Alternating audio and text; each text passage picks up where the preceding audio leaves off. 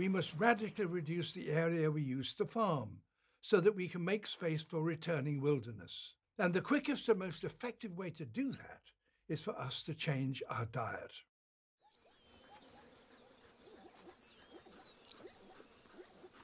Large carnivores are rare in nature because it takes a lot of prey to support each of them.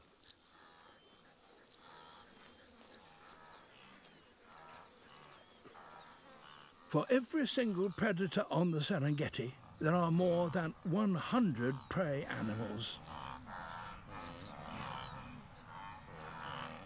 Whenever we choose a piece of meat, we too are unwittingly demanding a huge expanse of space.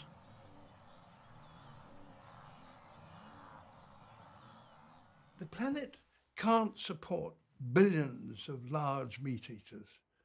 There just isn't the space. If we all had a largely plant-based diet, we would need only half the land we use at the moment.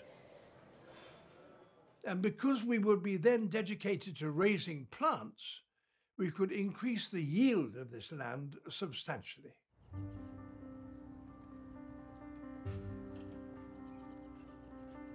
The Netherlands is one of the world's most densely populated countries. It's covered with small family-run farms with no room for expansion. So Dutch farmers have become expert at getting the most out of every hectare. Increasingly, they're doing so sustainably.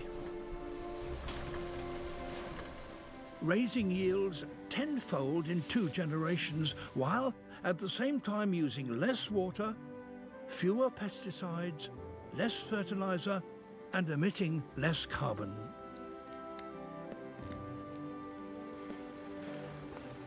Despite its size, the Netherlands is now the world's second largest exporter of food.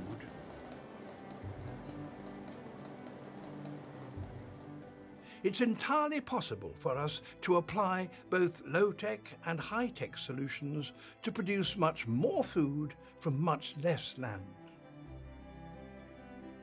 We can start to produce food in new spaces indoors, within cities. Even in places where there's no land at all.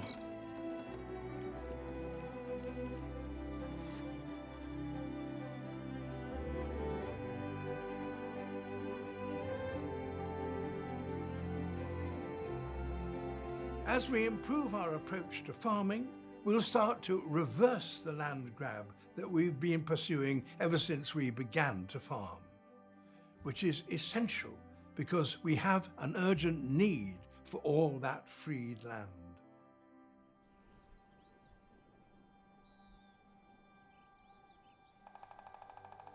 Forests are a fundamental component of our planet's recovery.